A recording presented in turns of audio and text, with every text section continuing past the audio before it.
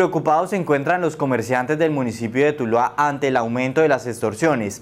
Ante esta situación, el comandante del Departamento de Policía Valle señaló que ya se están adelantando las labores investigativas ante estos hechos delictivos. Ante el aumento de denuncias por extorsión a los comerciantes de Tuluá, el comandante del Departamento de Policía Valle, el coronel Nelson Davey Parrado, en Consejo de Seguridad anunció que despachará desde este municipio. Trayendo toda la oferta institucional, toda la oferta institucional de la Policía Nacional. Vamos a traer a nuestro Gaula fortalecido con un grupo y capacidades desde Bogotá, no solamente capacidades humanas, sino capacidades técnicas que es tan importante.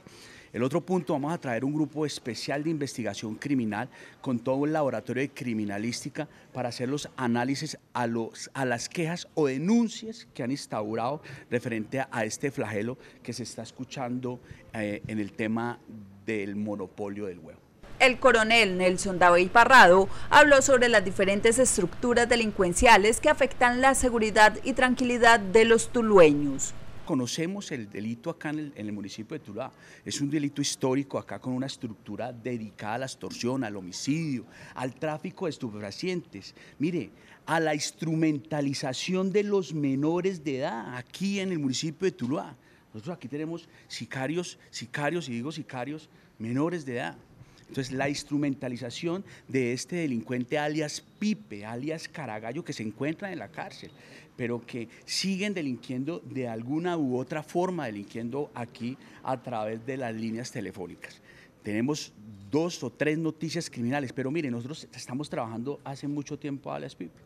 Se capturó se judicializó, se judicializó y se condenó, se condenó a 36 años de cárcel en estos momentos. Caragallo también está condenado también en, en, la cárcel.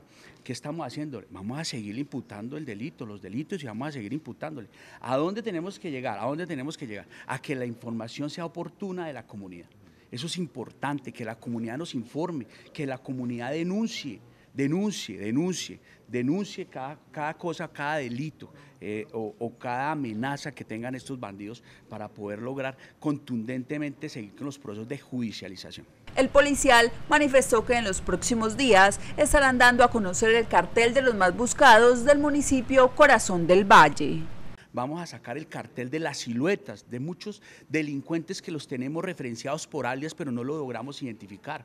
Importante, el año pasado, el año pasado sacamos un cartel de 25 siluetas, 25 siluetas, y gracias al apoyo de la comunidad, y, gracias al trabajo de la Fiscalía, el CTI, nuestro Ejército Nacional, que trabajamos de la mano, logramos identificarlos, logramos judicializarlos y logramos capturarlos por homicidio.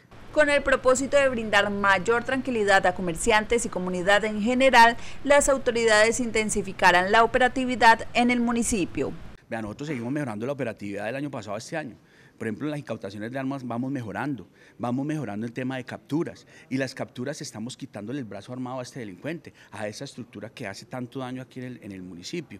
El apoyo fundamental de pie de fuerza, claro que sí, porque vamos a trabajar el tema de prevención, el tema de prevención con nuestros comerciantes, nuestros empresarios, el tema de reacción, una policía más reactiva para conocer los casos con inmediatez. Estamos aquí con la alcaldía de Tuluá fortaleciendo el tema de cámaras, que eso, eso va a ser un hit, escúcheme, aquí en el municipio de Tuluá. Las cámaras van a, dar, eh, van a servir como, como han servido en algunos municipios o en algunos departamentos en el tema investigativo, en el tema de prevención, en el tema de reacción. Y focalizar el tema de investigación y el tema de inteligencia acá en el municipio de Tuluá, que se sigue trabajando, o sea, se viene trabajando. El año pasado sacamos unas muy buenas operaciones referente a este delito y afectamos esa estructura criminal.